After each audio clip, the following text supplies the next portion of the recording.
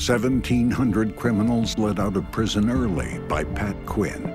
Domestic abusers, sex offenders, murderers.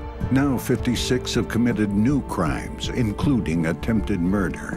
Newspapers say the whole episode rattles the public's faith in the governor and call Quinn's actions inexcusable, an epic failure, a breach of trust that jeopardizes our safety. On February 2nd, let's vote to release Pat Quinn from his job.